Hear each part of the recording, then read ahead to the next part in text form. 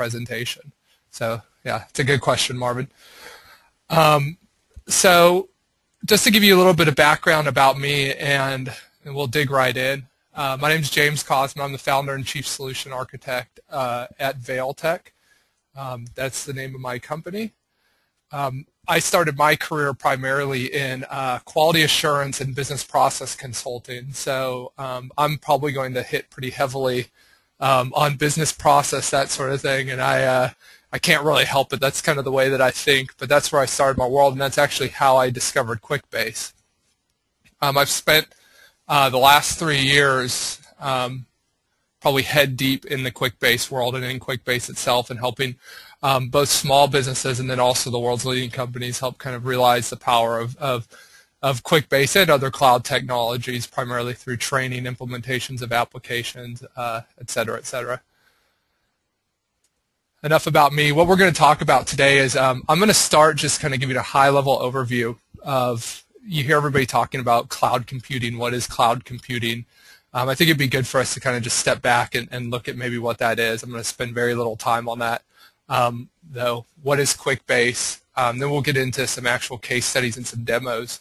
Um, and hopefully through those you'll start to, to see some of the power. And then we'll talk a little bit about how there might how QuickBase might be able to be used either for your own business or as a new revenue source for your business. Um, and then I'll kind of summarize some stuff, and then I'm going to open up for questions uh, from there. So um, should be pretty simple. Um, I'm not going to bore you with a bunch of slides. We're going to kind of really dig in deep. Um, and look at QuickBase and, and, and what it is um, pretty quickly here. But just a step back, um, whenever you think whenever you think QuickBase, you should think of cloud computing. And um, actually, to tell you the truth, people in the industry um, themselves have a difficult time um, defining exactly what cloud computing is. Um, I'm going to kind of keep it simple here. whenever you're talking about cloud computing, you're talking about um, applications that exist and hard that exist on hardware um, that exists elsewhere that other people are sharing the resources of that hardware. Um, and so in layman's terms, um, you may have a QuickBase application where um, that's hosted in one place, or in the case of QuickBase, they actually have multiple data centers. They're hosted in the quote-unquote cloud or remote data centers where you have somebody in the U.S. who's accessing that application.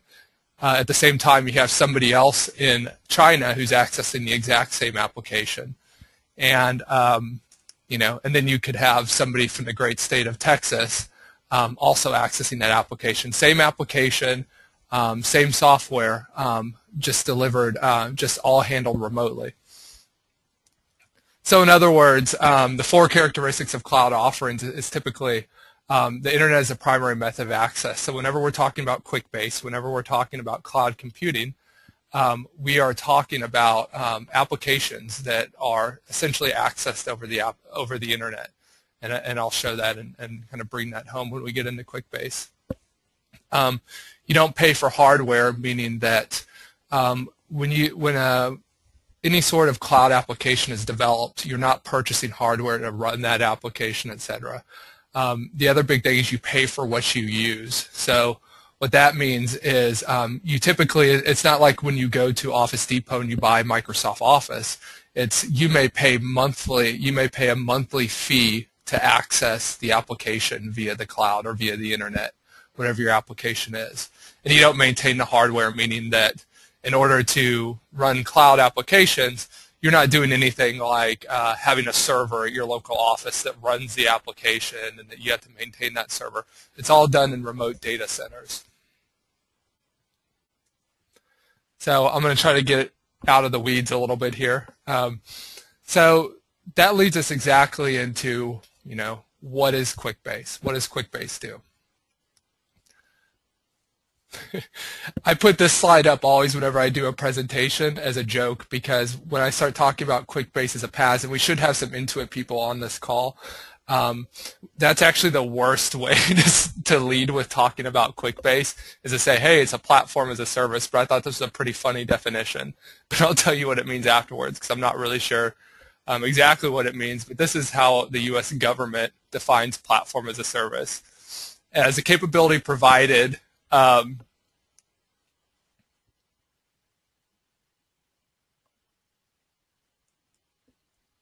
Um, I'll answer that. Uh, Marvin, at the end. Um, so the capability, so essentially it is the capability provided to the consumer is to, okay, so uh, first of all, that's a government typo. Uh, to deploy onto the cloud infrastructure consumer-created or acquired applications created using programming languages, libraries, services, and tools supported by the provider. Okay, so that makes a lot of sense, huh? Not really. I don't know what that means, actually. To put it simply, this is what QuickBase is.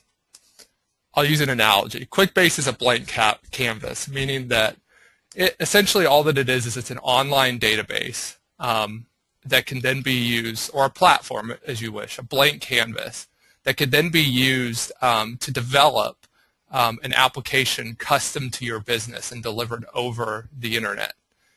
Um, so it's a blank canvas. Um, there's a lot of um, kind of boilerplate, quick-base applications that manage project management or timekeeping. We'll kind of dig into those um, that people have pre-made. But essentially, you can build an application as an end user without any coding skills whatsoever. You can build a, an application custom to a business or to your client's businesses uh, from the ground up. Um, so the business process is your inspiration. So whenever you're building QuickBase applications, you think, what is the business process that I'm problem I'm trying to solve, um, and how can QuickBase help me solve that business problem? And your developers, your artists, whether if you're hiring an outsourced developer or you're hi hiring a developer um, or, or you have a developer in-house because there's a lot of people that purchase QuickBase who manage it completely in-house and that's part of the power of it is you don't need somebody who knows how to write code to work within QuickBase and create some very effective applications. So to get into what are to get into um, to get into um, exactly what why QuickBase is a superior canvas, I kind of do a top 10 list, and this is from our website um, to go along with that same uh, to go along with that same vein. So first of all, it's cloud-based, like we talked about. You should know a little bit about the cloud now. Um, so it's delivered over the internet, meaning that people all across the world can be accessing in real time the exact same data via the internet. No hardware meaning uh, when you get into you know large software, um, custom software implementations, right? I don't know how many of you have familiarity with that, but you know years ago, essentially, you would not only have to worry about developing the software, you would also have to have the hardware and purchase hardware to to to deliver that software. It's very flexible, um, meaning that you can launch a QuickBase application and you can continually evolve it to your business process as your business evolves um, kind of leads to my fourth one is it's business first technology, meaning that um, because um, it, it, can be managed without any sort of coding skill set, um, it allows people who really understand the business process um, that you're trying to solve. It allows people like that to actually be hands-on in the development of the application. Um, for people like me that, that have been kind of in and out of the software world also, um, you'll notice that when you get into hardcore custom software development, um, a lot of the time you're dealing with people that are really good in code, really good technically, but they have no idea what your business process is. They have no idea what you're trying to solve or anything. And you end up with this custom software that's built for robots, essentially.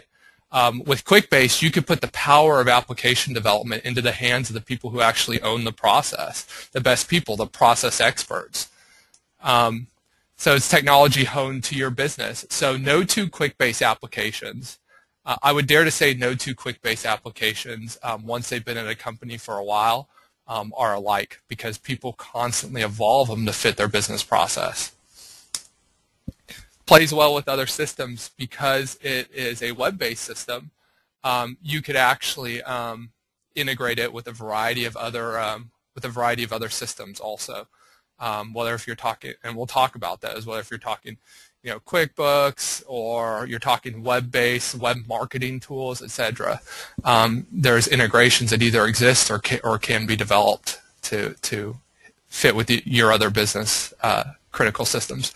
Rapid agile development, meaning that because um, we're not digging deep into code in the most cases, uh, you can launch very powerful applications and solve big problems very, very quickly. Um, I've heard, I've seen people. Um, in fact, my first QuickBase application I built in a day, um, and I had some ROI numbers whenever I did it. It was when I was working as a consultant.